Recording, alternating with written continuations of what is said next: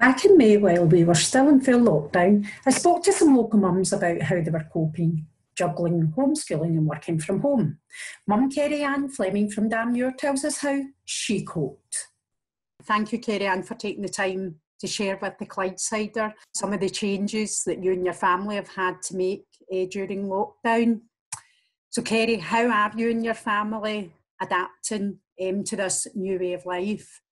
Probably the first couple of weeks, it was all up in the air and very stressful, probably putting far too much pressure on ourselves. Um, but then, slowly but surely, it kind of became like a routine. We both are working full time from home the way that my work is, it's quite flexible and it's just literally me and a laptop and I can kind of come and go as I please. Whereas with my fiance, he has more responsibility in his role. So pretty much he has to work upstairs and he comes down when he can to kind of help with the kids. So it's me downstairs with both the kids working and doing Kayla's homeschooling. So That's the thing, you've got two small children yeah. and you've yeah. got one at school age. So, what kind of things are you doing to keep them occupied? Try my best, you know. And at first, I would say the first couple of weeks, I was trying all the things you saw online, you know, like the little snack boxes whenever they ask for a snack um, because they eat non stop. Or we did um, like handprint impersonation. That was kind of fun. Took us a couple of days, and it's like a memory. We've got it up in our kitchen wall now.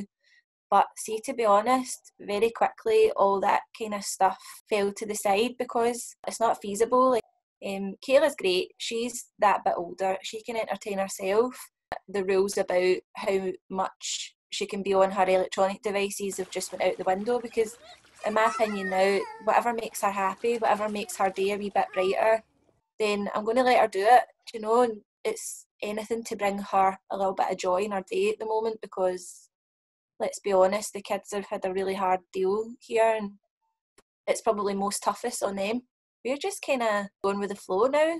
Even our schoolwork, I'm just kind of like, do what you can and do what you want to do and let's not stress about it. And I think maybe other people might have a different outlook. And I would have thought at the start of this that I would be very strict because I'm quite like that. Um, I do like a routine. My kids know their routine inside out. The mental well-being and health of the children is more important and even teachers are putting that message out as well do you know yeah, yeah. and it's about family time so like on that what kind of things have you seen the change in like family life that's a hundred percent the best thing about this situation is like i said me and martin both work full time eating meals together something we never get to do monday to friday so now we have dinner together every day and we have lunch and breakfast together every day. Watch movies, snacks, board games, that sort of thing. All the things that we wouldn't have had time to do before because we would have been rushing on to the next thing and the next thing and the next thing.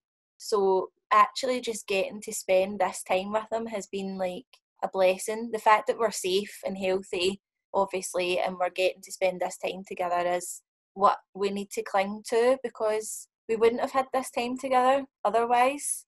So, when some sort of normality goes back, what will you try and keep doing as a family? Just going for walks. That's been the highlight of our days. Jumping in muddy puddles with our wellies on. The simple things that you don't think about is the things that they love to do. So a little bit more of that. I think going back to basics. I think in a, a kind of strange way, I'll I'll miss the way it is, although I won't miss the pressure. I'll miss like just getting to be a, a full time mum. That's the wrong expression to use because you are a mum all the time, but I'm getting to be hands on just now. Um, and that's probably made me realise that I'll miss that being full time and I'll maybe make some changes to see if I can balance both a wee bit more now that I see like what the kids are getting out of it. Where is the first place you will go when lockdown is over?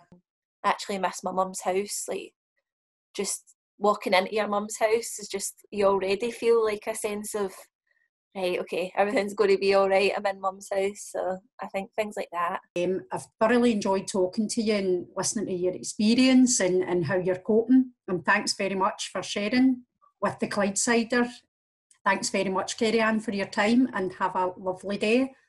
No problem. Happy Friday.